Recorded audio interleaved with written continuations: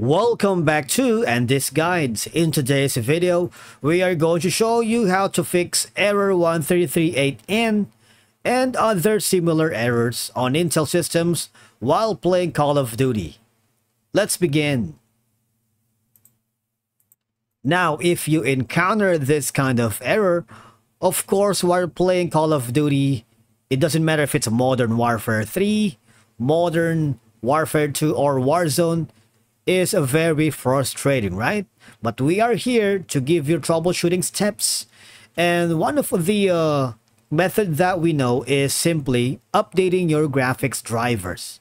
Now make sure you have the latest graphics drivers for your GPU. Now, for example, I am using a um, NVIDIA or AMD. I have a dedicated GPU and I just need to update those drivers from the um, their website. Now, if you are using Intel drivers, you might want to show you have the latest in the Intel graphics drivers. You need to visit the Intel driver and support assistant.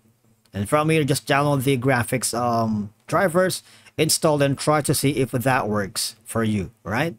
Now, the next option is, now you need to go to the task manager, pressing Alt Control Delete, and of course, from here, you need to go to the performance.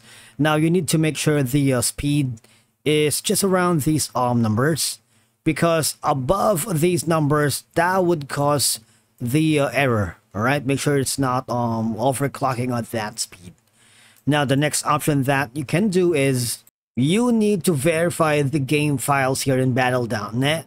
Now, open Battle.net, go to your library, Click the options menu or the gear icon next to the play button.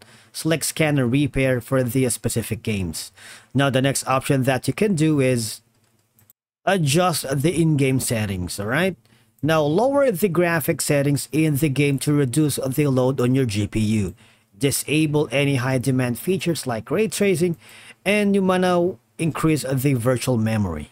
Now from here, now, if you want to increase the virtual memory, especially the Windows virtual memory, open System Properties. Now, right-click on this PC, Properties, and go to the Advanced System Settings.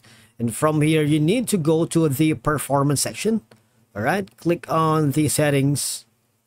And from here, uncheck Automatically Managing Paging File Size for all drives select your system, which is usually a C, and choose custom size. And from here, you can set the initial size and maximum size to a value higher than the current one. For example, that you can put um, 40, 96 MB, and the maximum is 8192 MB.